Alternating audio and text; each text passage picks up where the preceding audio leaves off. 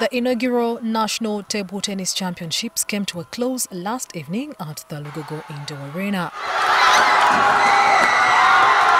Over 200 players from various clubs countrywide took part in the National League, cutting across several age brackets. Kibuli SS's Samuel Ankunda Mbabazi emerged top of the standings with 34 points collected after 18 matches. It's been hard and tiresome, but I want to thank my coaches, parents, sisters, and the president of table tennis for making it possible to finish the league. And the games were really tough. Apart, apart from the disappointments I got in the first round, where where I lost two games against Ted and Imran, but I made it possible and I won again during the second leg.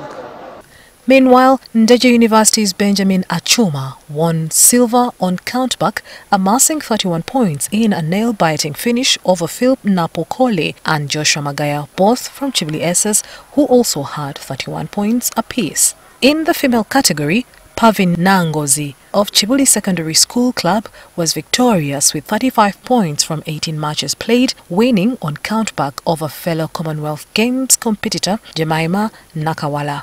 Nangozi and a gold medal, a glittering trophy, certificate and 1.5 million shillings as Nakawala also got a trophy, silver medal, a certificate and 1 million shillings. Mbogo College's Amina Nampera finished third with 31 points to take bronze. I'm very happy to win this league because it was my first time to play a league in Uganda and I'm very happy to win to win 1.5 and also, I thank my co- I thank all my coaches, Coach Alvin, Coach Tendo, Coach Maria, and many others. The league wasn't very bad because I only got one loss.